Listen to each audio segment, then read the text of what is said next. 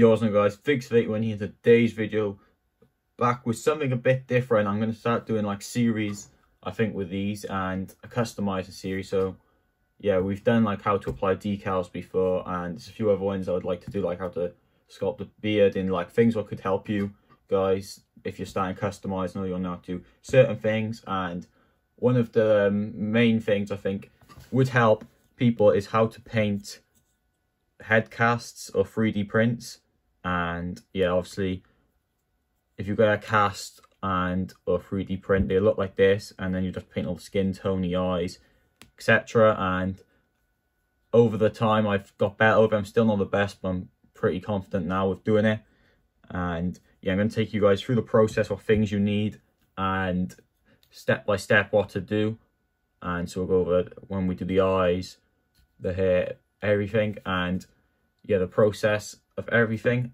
So if you have got a 3d print you won't have to do any um sanding down anything but if you do get a white head cast sometimes you might have to sand down the top of it or the neck hole already be there and you just have to drill in. And yeah so you can just do that with Dremel. And but most of the times you get them off people they've already done that for you or make sure they've already done the neck hole for you and sanded down the top so then you don't have to do that when you get them and if you're getting a 3d print off anyone then they should look like this so you don't have to do no dremeling or neck holes or anything. They'd look like this and i'll show you how to apply them as well in this video. And yeah. First off we're going to start off with the preparation. So i have not used this before. I normally just go in and paint the skin tone but apparently um i should prime before and then paint.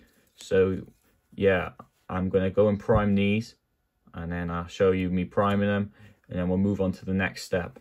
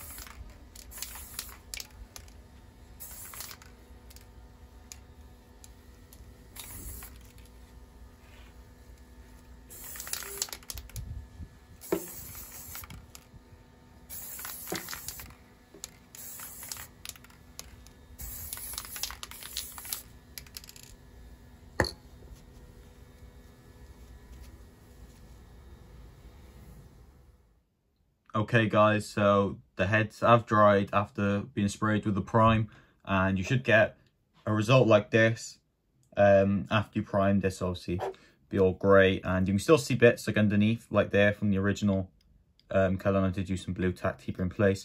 By here but it's not too bad under there. You just want to make sure the main um, face is all primed and obviously I'm going to show you me painting Tanahashi in this. I just do the coater and yeah, as I said, if you don't have a primer, you could just paint it straight away. I've done that multiple times. It'd be the same process as we're doing now, but I've primed it for the first time and going to see how this comes out. I should just give it more of a smoother finish and protect it a bit more, the paint. And yeah, so all you're going to need for this is just a paintbrush, a regular one. You don't need no small one. because when you paint you don't have, don't worry about getting on the hair because you'll fix that up later you just want to get the skin tone all nice and I'm going to be going with this Citadel layer.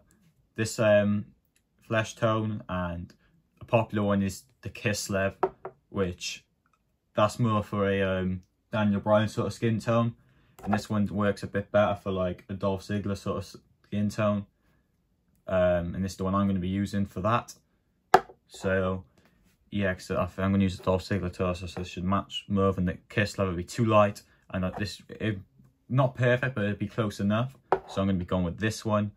And yeah, just that's all you pretty much need. Paintbrush to paint. And then just something to hold the head scan, which I'm going to be using um, this right here. This little um, peg thing, I'll just clip it on.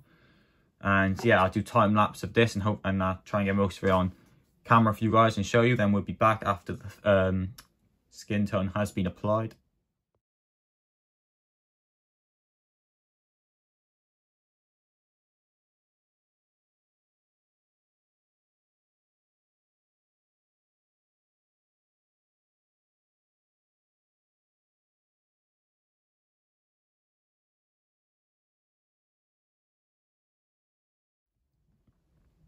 Okay guys, after you've painted it, you should get something like this. I don't know what them marks are on the head, they're them lines. But they, yeah. Other than that, they were already there when I primed this. It must have just been on the 3D print, which doesn't even look noticeable. Um, yeah, if you should get something like that. And I did give it like two coats and of that skin tone. It all depends. If you have like a white cast or if you haven't primed, it might take more layers.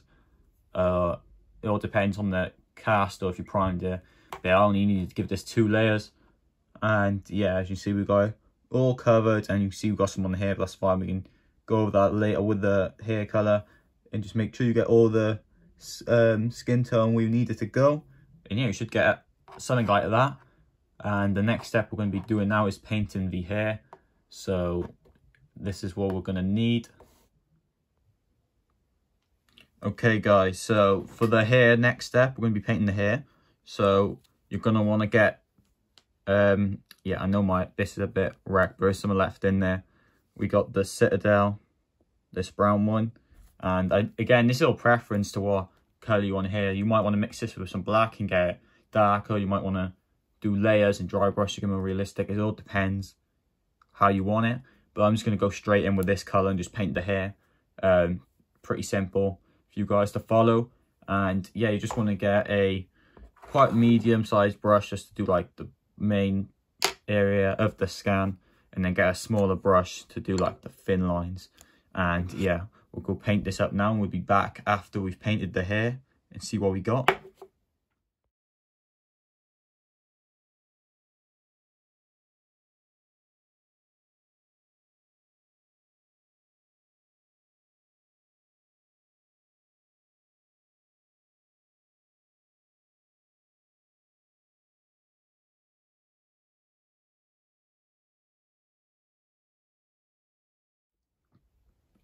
Okay guys, after painting the hair, you should get something like this.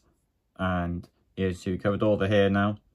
And if you do manage to get any on the skin tone when you're doing like the um, pointy bits, you can always come back in with like the skin tone and sharpen up the edges. And yeah, as I said, I'm not the best painter, but um, it's coming out good so far. Next step we're going to do is the eyes. And I know this is the one a lot of people struggle on the most, including me. And I'm still not the best um, at it now, but it's all about practice.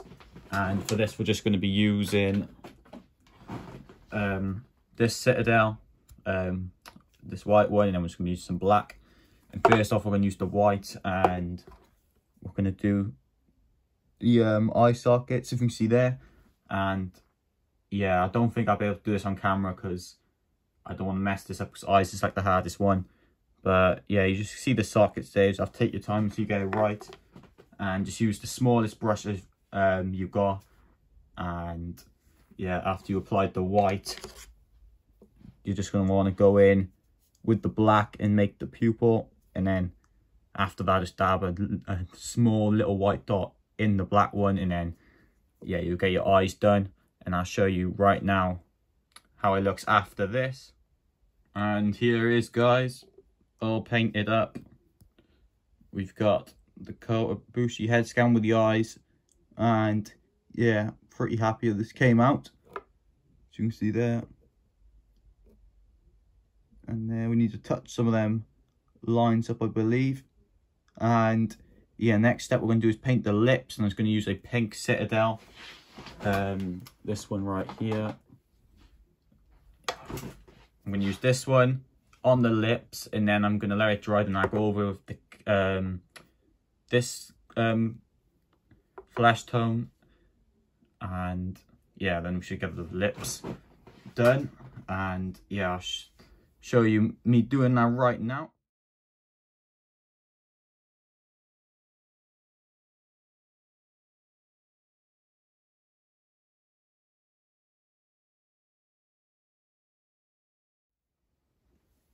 And here we have it guys, the end result. And apart from this, you just need to seal it with either, I don't know what seal you guys use. If you use Mod Podge or a um, spray can, whatever you would like to use.